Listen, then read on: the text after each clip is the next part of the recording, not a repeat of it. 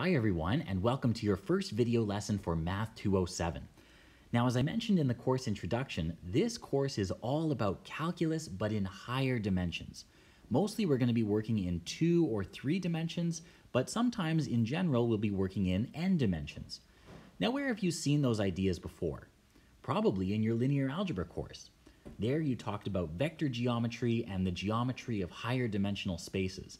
And that kind of knowledge is going to be essential moving forward in our course. So our first job for this term is to review some of the ideas from linear algebra. I'm going to go pretty quickly because I suspect this is something many of you have seen before, but don't worry, we're going to slow down a bit when we get to the new calculus content at the end of this week. If you want more information on this section, please visit sections 10.1 and 10.2 of the textbook. Okay, so our discussion today is going to be about vectors. And the idea behind vectors is quite simple. If we're working in, say, R2, the two-dimensional Cartesian plane, we could represent any point using a pair of numbers AB. But alternatively, we could represent that point in space using an arrow that starts from the origin and ends at that point. We call this a vector, and we denote it by some letter with a little hat on top. So maybe I'll call this V hat. Its two components are A and B. It's telling us to move A units along the x-axis and B units along the y-axis. Now we could represent this using either a column or some angled brackets, and I'm actually going to use both throughout the term. Now you may wonder, why on earth are we going through all this trouble of rewriting this point using one of these arrows? What do we gain from this? Well, it turns out that there are some very nice algebraic operations that we can do in R2 or R3 that are very nicely visualized when we represent this point using a vector. There are two basic types of operations that you can perform and visualize with vectors. They are addition and scalar multiplication. To show you how these work, suppose that we have two vectors, v with components v1 and v2, and w with components w1 and w2 we're going to define the sum of these two vectors to be the vector whose components are obtained by adding the individual components of v and w. So my first component is v1 plus w1. My second component is v2 plus w2. Now the cool thing is that we can visualize this in our Cartesian plane by connecting up the vectors v and w tip to tail. If I append W to the tip of V, and I follow this path here to the terminal point, well, that's going to be the sum of our two vectors. The vector from the origin to that point is V plus W. Pretty cool, huh? It turns out it doesn't matter what order you do this. You could have alternatively connected V to W instead of W to V. Our second operation is scalar multiplication multiplying a vector by a real number?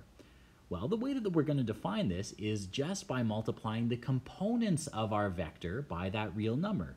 So for example, if we want to consider 2v, we're going to get the vector 2v1, 2v2.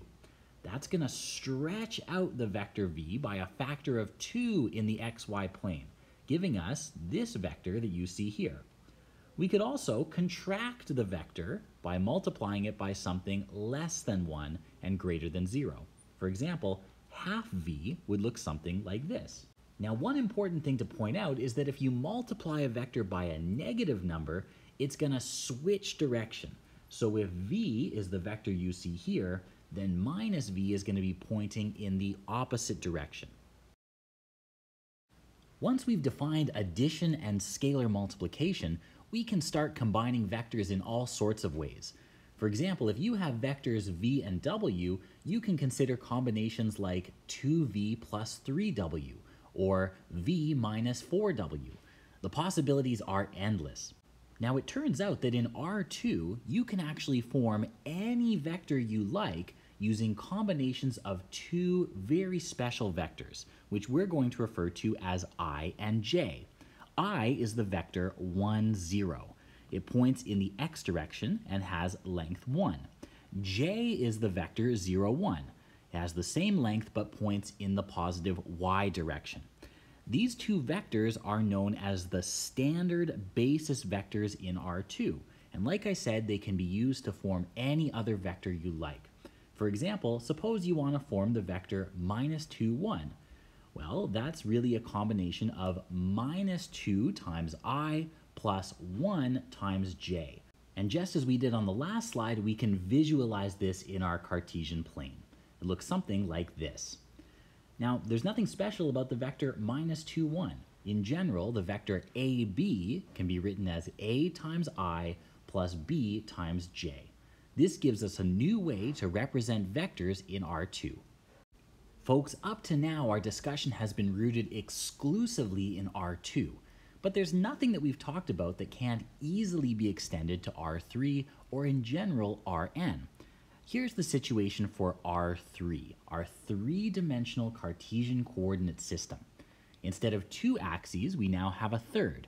We have the x, y, and z axes. To orient ourselves in this space, we follow the right-hand rule. It says that if you stick out your thumb, index finger, and middle finger from your right hand, then your thumb will be pointing in the direction of the positive z-axis, your index finger will be pointing in the direction of the positive x-axis, and your middle finger will be pointing in the direction of the positive y-axis. Go ahead, give it a try. Just like in R2, we can actually form all vectors in R3 using combinations of a set of standard basis vectors. Perhaps not surprisingly, we now have to introduce a third vector. We have i hat, which points in the direction of the positive x-axis, it's 1, 0, 0. j hat, which points in the direction of the positive y-axis, 0, 1, 0. And now k hat, which controls our height, it points in the direction of the positive z-axis and has coordinates 0, 0, 1. Just like before, every vector can be written as a combination of these three. For example, the vector 5 minus 2, 3 can be written as 5i minus 2j plus 3k.